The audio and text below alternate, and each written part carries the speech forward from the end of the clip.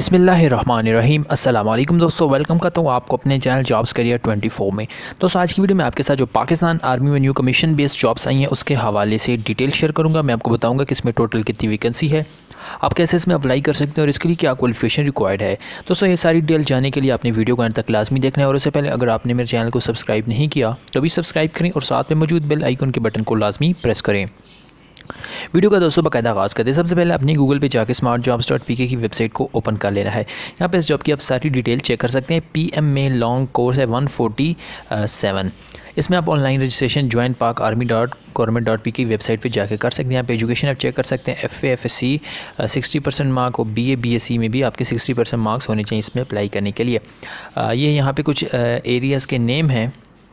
اگر آپ ان سے بلونگ کرتے ہیں، جس طرح فاٹا، گلگت بلتستان آزاد کشمیر ڈسٹرک کوہستان، چترال، دیر، تو ان اگر آپ ان ڈسٹرک سے بلونگ کرتے تو آپ ففٹی فائیو پرسینٹ مارکس بھی اپلائی کر سکتے ہیں۔ یہاں پہ ہاؤ ٹو اپلائی تو آپ نے سب سے پہلے انٹرنیٹ کے ذریعے آن لائن رجسٹریشن کروانی ہے join Pak army dot government dot P K. پھر آپ کو جو ٹائم دیا جائے گا، اس ٹائم پہ آپ نے اپنے متعلقہ آفس میں یعنی سینٹر میں آپ نے پہنچانا ہے۔ یہاں پہ آپ اس کا ایڈ چیک کر سکتے ہیں۔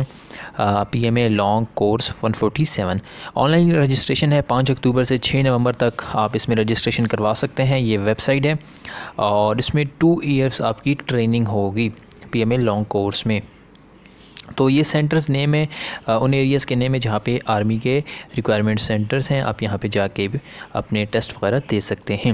اس کے والے سے اگر آپ کا کوئی کویسچن ہو تو کامنٹ میں آپ مجھ سے ضرور پوچھ سکتے ہیں، میں انشاءاللہ آپ کو جواب دوں گا۔ ویڈیو کیسی لگی؟ یہ بھی مجھے کامنٹ میں ضرور بتائیے گا۔ پورے پاکستان سے ڈیلی جاب اپڈیٹ حاصل کرنے کے لیے میرے چینل کو سبسکرائب کریں اور ساتھ میں موجود بیل آئیکن کے نشان کو لازمی پریس کریں۔